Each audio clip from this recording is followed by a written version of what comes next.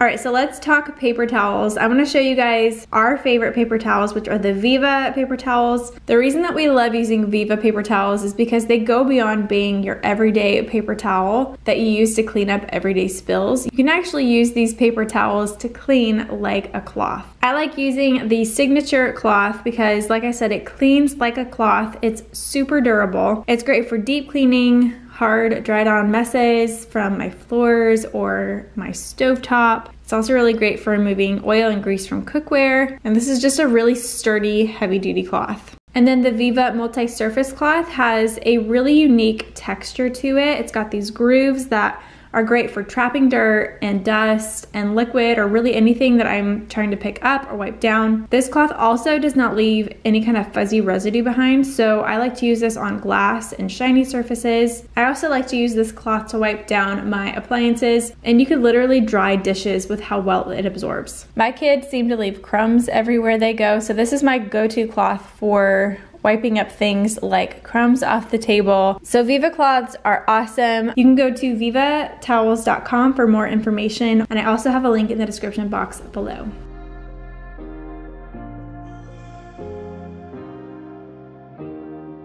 Keep thinking that I could have done something but now I'm left with an empty heart no making amends no waking up beside you and holding you till we forget it all. How could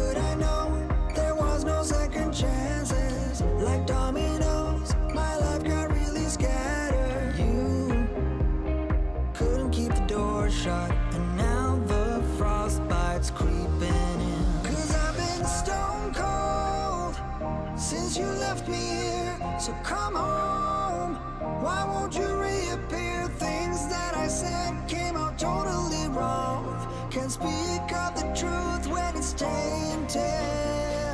I fell into a big black hole. It got me stone cold.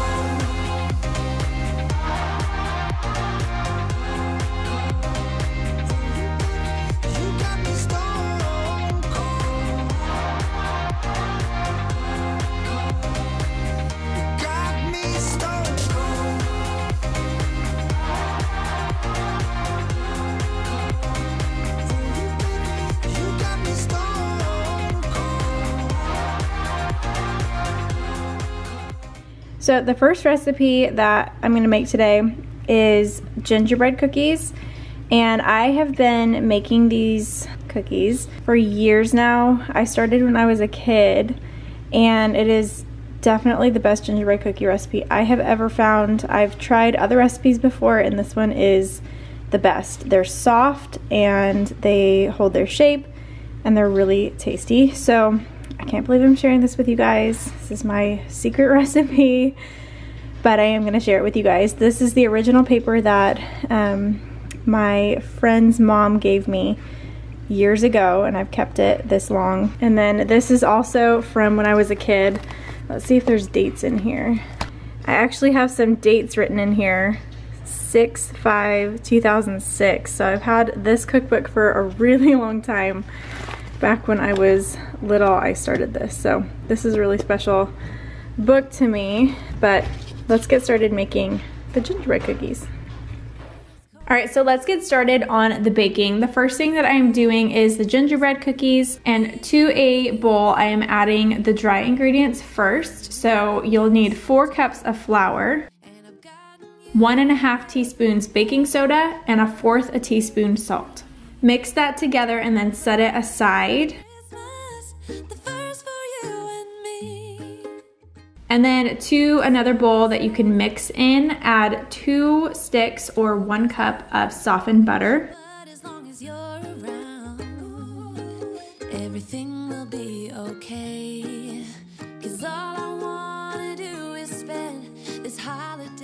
and one cup sugar. And then you're gonna mix this well.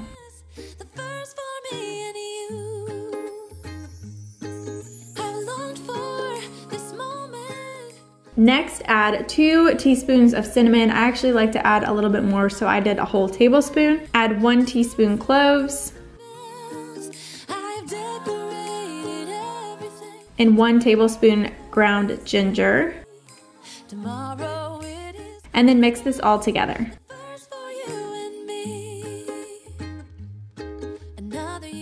Next, add a half a cup of water, which I forgot to show, and then also add a half a cup of dark molasses. The molasses is one of my favorite parts to these cookies. It gives it a really rich, unique flavor.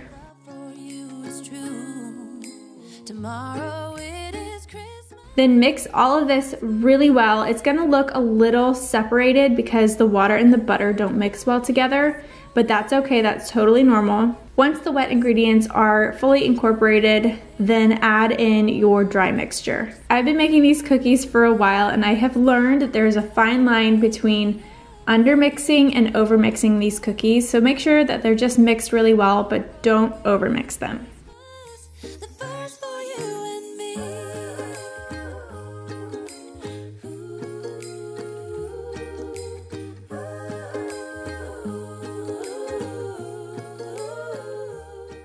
Once your dough is done, go ahead and cover your bowl with some plastic wrap and stick it in the fridge to chill for an hour. This is gonna make it easier to roll out later.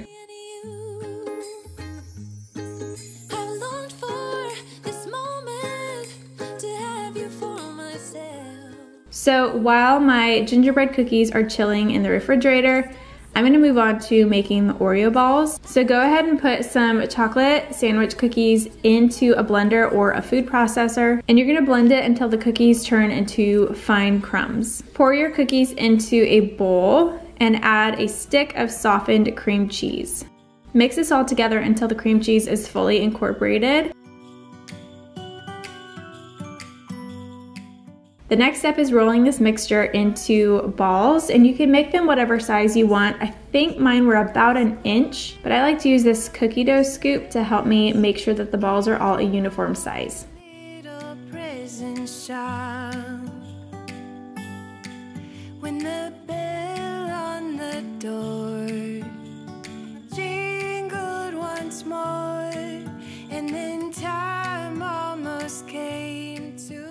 Once all of the Oreo balls are rolled out, then you're gonna also put these in the refrigerator to kind of chill and set a little bit.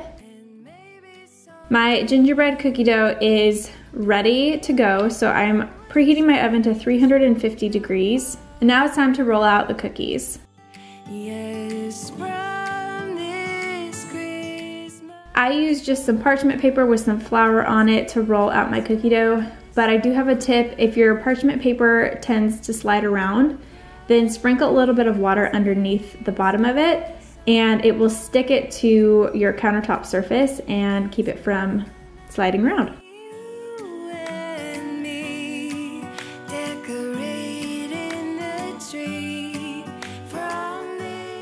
So roll out your cookie dough to about a fourth of an inch.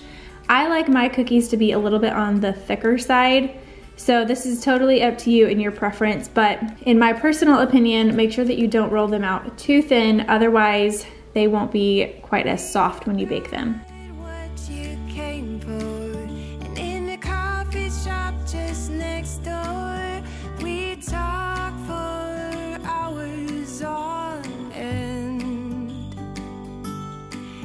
somehow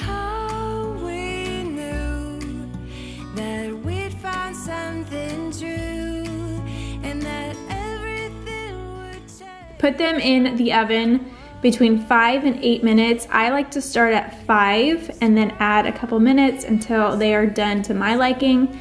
But it's very important to make sure that you don't overbake these cookies, otherwise they'll be crunchy.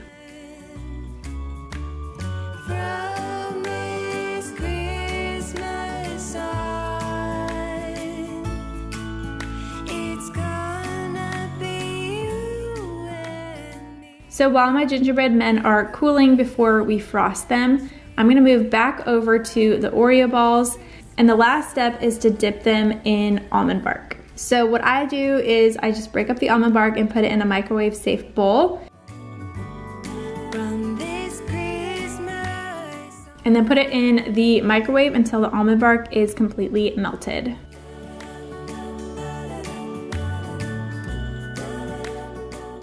Next, you're gonna dip each Oreo ball into the almond bark and completely coat it. This is why it's important to chill your Oreo balls before dipping them because the almond bark is a little bit warm. So by chilling them, it helps them hold their shape. Another thing to keep in mind is that this almond bark will dry fast. So you can get creative and add toppings if you want to. I am gonna add a little bit later, you'll see some crushed candy cane. But if you are gonna sprinkle any kind of sprinkles on top, make sure to add the sprinkles right after you dip in the almond bark so that the sprinkles will stick before the almond bark hardens. The last thing we're gonna do before we clean up the kitchen is frost our gingerbread men. And so I am making a royal icing. To a bowl, add two egg whites, a teaspoon of vanilla, and blend this until frothy. Then add three cups of powdered sugar. And you're gonna blend this for about five minutes until the frosting is stiff.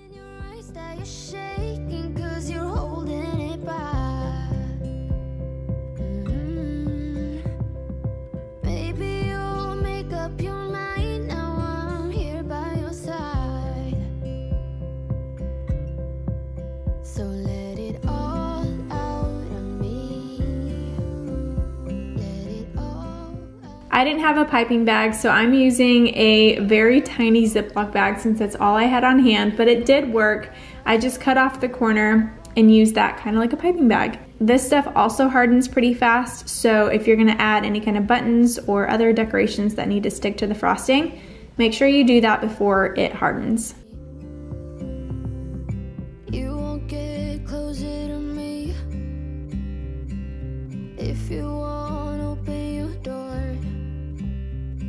If that's what you want, then baby try to believe me when I say that you can tell me anything.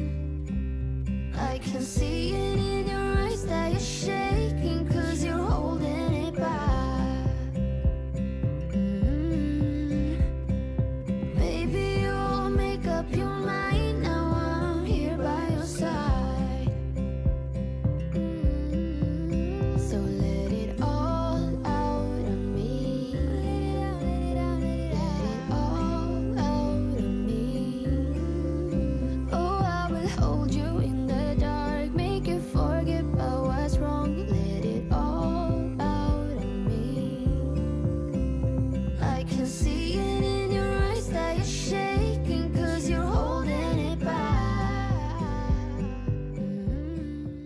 All right, now that the fun stuff is over, we're gonna get into cleaning up this kitchen. The first thing that I'm doing is wiping down all of my appliances. I'm really particular and I like to make sure that my appliances are cleaned after each use before I put them away.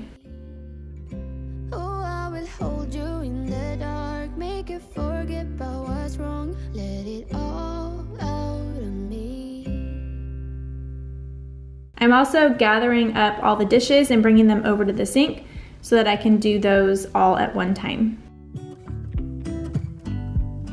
I pull into your driveway, it's a Saturday night.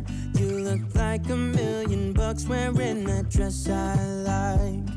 You're smiling, but there's something missing in your eyes. Girl, I can tell that you have something on your mind. But I will make you forget all your sorrows. Let go like there's no tomorrow. Let's have a drink, just relax. All your problems will fade. If you're ready for a good time, count on me. There's a party in the backyard, dance your problems away. I'm all about the good vibes. I know you're all about the good vibes. You know how much I love you? Wanna see you smile. Where's that happy girl that I know with a heart on fire? I'll do anything to make it fine, but I can tell that you. Moving on to the dishes.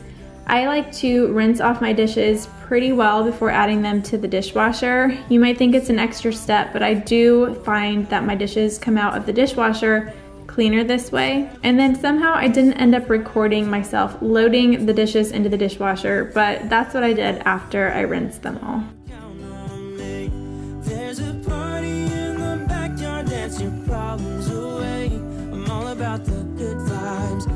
all about the good vibes.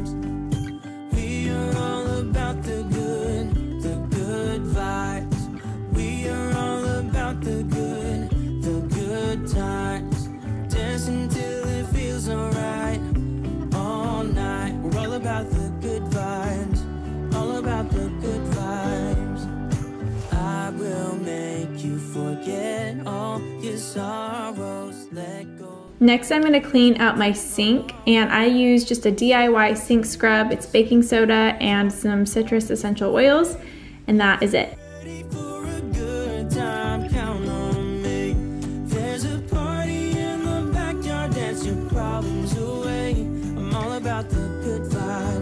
you're all about the good vibes. Let's have a drink,